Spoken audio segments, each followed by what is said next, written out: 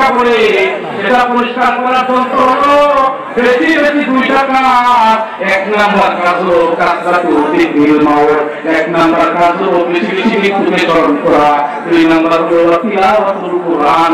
বেশি বেশি কোরআনের তিলাওয়াত করা। আসসালামু আলাইকুম রহমতুল্লাহ সম্মানিত দর্শক, আপনারা কেমন আছেন? আশা করি সকলে ভালো আছেন। আসলে আমরা ভালো নই। আমরা কোরআনের কথা শুনতে এসেছিলাম আমাদের পাখুন্দিয়া থানার জাঙ্গালিয়া গ্রামে। এখানে বিশাল বড় একটি মাহফিলের আয়োজন করা হয়েছিল। সেই মাহফিলের প্রধান বক্তা ছিলেন আন্তর্জাতিক খ্যাতি সম্পূর্ণ আল্লামা তারেক বনুয়ার তিনি আমাদের এই মাহফিলে এসেছিলেন। কিন্তু পুলিশ প্রশাসন ভাইরা আমাদের তারেক বনুয়ার হুজুরকে স্প্যান্ডেলে ওঠার জন্য অনুমতি দেয়নি। আজকে আমাদের তারেক বনুয়ার হুজুর, তিনি কষ্ট পেয়ে উনি ঢাকায় রওনা দিয়েছেন।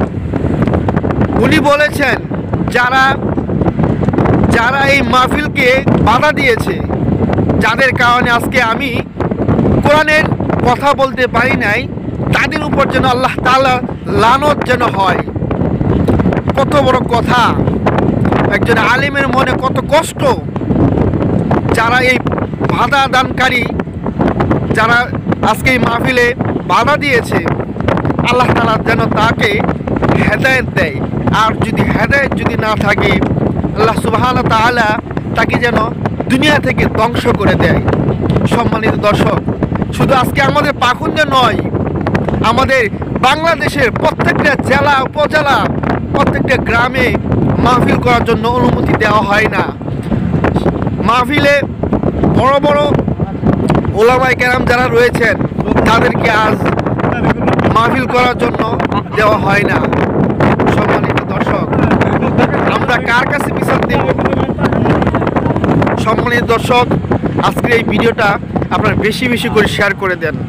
আমি যে ভিডিওটা করতেছি, রাত বাজে প্রায় এগারোটা। আমরা সেখান থেকে কষ্ট নিয়ে আমাদের বাড়িতে যাচ্ছি। কষ্ট নিয়ে। আমরা কোনো কিছু নিয়ে যেতে পারি নাই। আমরা কোনো কিছু নিয়ে আসতে পারি নাই। শুধু নিয়ে আসতে হয়েছে আমাদের বুক করা কষ্ট। আমাদের উদ্দেশ্য ছিল যে আমরা আমাদের হুজুরকে দেখব এবং হুজুরের মুখ থেকে যে বাণীগুলো বের হবে, সেখান থেকে কিছু আমল আমরা শিখব। এবং সেই অনুযায়ী আমল করব। সেই সৌভাগ্য আর আমাদের হলো না। আমরা খালি হাতে আসতে হয়েছে। সম্মানিত দর্শক, শুধু আমরা নয়, হাজারো হাজারো মুসল্লি আগমন ঘটেছিল। সকলেই একটি কষ্ট তাদের মনে যে কেন মাহফিল করা করতে দেওয়া হয়নি? কেন হুজুরকে বাধা দেওয়া হয়েছে?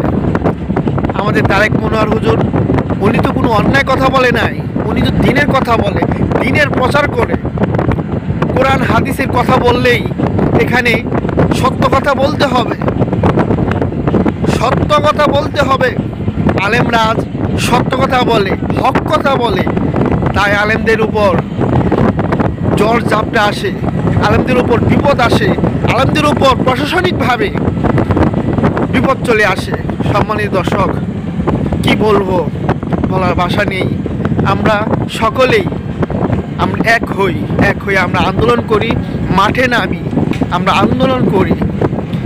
আমাদের এই ভাদা যেন উন্মুক্ত হয়, আমাদের আলেমরা যেন উন্মুক্তভাবে মাহফিল যেন করতে পারে। সম্মানিত দর্শক, আজকের এই ভিডিওটা আপনারা বেশি বেশি করে শেয়ার করবেন। আজকের এই ভিডিওটা বেশি বেশি করে শেয়ার করবেন। আপনাদের রিকোয়েস্ট করতেছি। ইসলামের স্বার্থে, দিনের স্বার্থে। আমরা আজকে এই ভিডিওটা বেশি বেশি করে শেয়ার করব ইনশাআল্লাহ। সম্মানিত দর্শক, আজকের এই পর্যন্তই।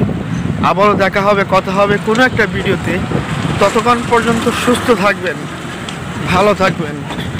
আল্লাহ হাফেজ।